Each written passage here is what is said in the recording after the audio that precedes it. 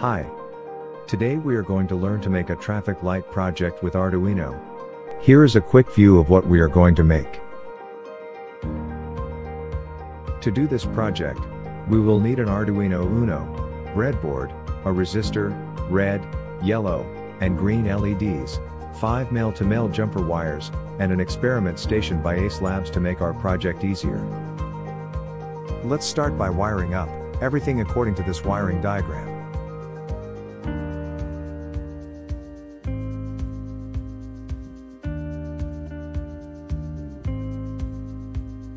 First, let's set up the experiment station if you haven't already done it.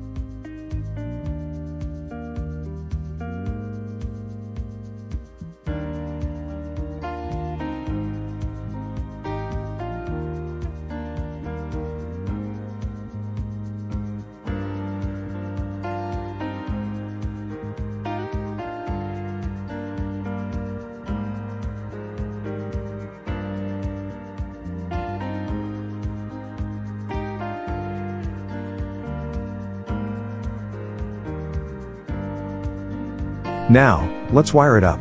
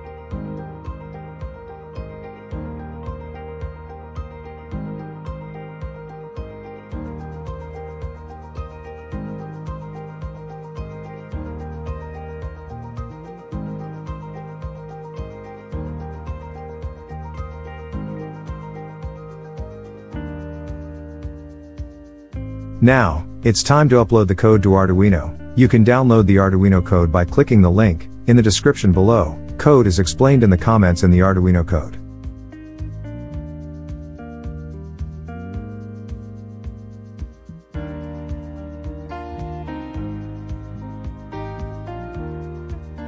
Great work, try playing with the code a little, try changing delay times, and see what happens.